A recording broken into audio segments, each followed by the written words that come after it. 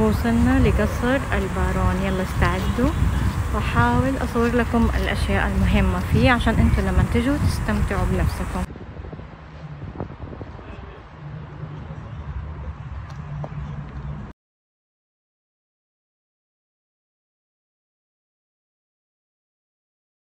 طبعا لما تدخلوا القصر كل شيء هنا مكتوب عن القصر تاريخه نبذة عنه. أنا ما راح أحرق لكم كل حاجة.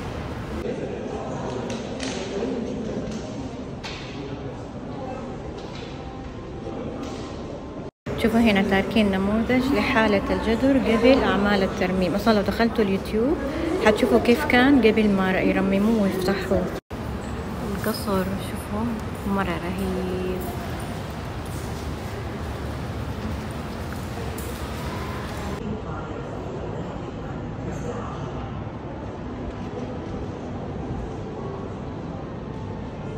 شوفوا التفاصيل الهندسية اللي في القصر.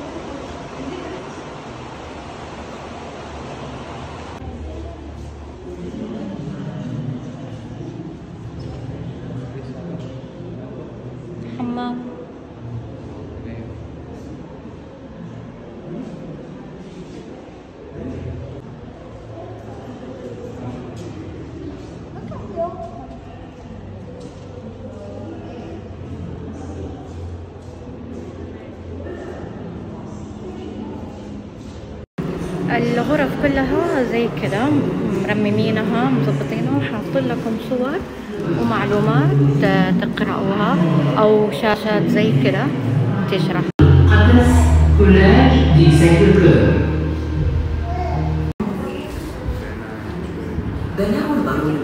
شوفوا النحت حتى بداخل الدفاية استخدمت خلصنا كده من زيارة القصر وطالعين دحين لهنا. المنظر البانورامي من فوق.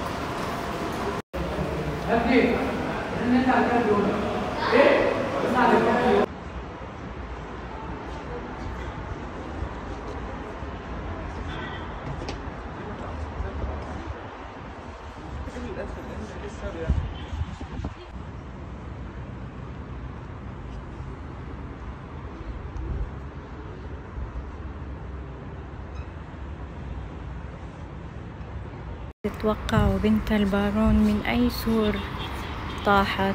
هذا مثلا يخوف. طبعا تقول الحكايات إنه جوا المصعد في واحدة ماني عارفة مين فيهم انقطع راسها وماتت ودفنوها هنا في القصر ما أدري مدى صحة القصص. شوفوا هنا حاطين حرفين أول حرفين من اسم البارون ال B وال E شوفوا هنا ده شكل الجدر قبل ما يترمم كذا كان دحين بعد الترميم صار كذا. وهنا هنا المنطقة حقت الدم صح؟ بس رم أي بس خلص ترمم كل شيء واتمسح طبعا هذه النجفات كلها هذه جديدة هم جابوا أكتر شيء قريب من الأصلية. لكن البيبان هذه قديمة والترميم الألوان يعني شبه الألوان القدي... الأصلية. شايفين ولا أنا بيتهيألي في كان شوفوا هنا في شوية دم شايفين؟ من الدم اللي كان موجود ومسحوه. ليش مسحوه؟ حسهم تركوه زي ما هو. كده خلصنا زيارتنا لقصر البارون. وزي ما شفتوا القصر مجدد مترمم ما في شيء يخوف. لأنه من أمس وصلتني مسجات كثيرة إنه خايفين وكيف تخشي. هذاك القصر قديم كان. قبل الترميم كان صح يخوف لكن دحين زي ما شفتوا بتذاكر بتنظيم حتى يدخلوا أعداد معينة عشان كورونا ما يسمحوا بزيادة العدد جوا.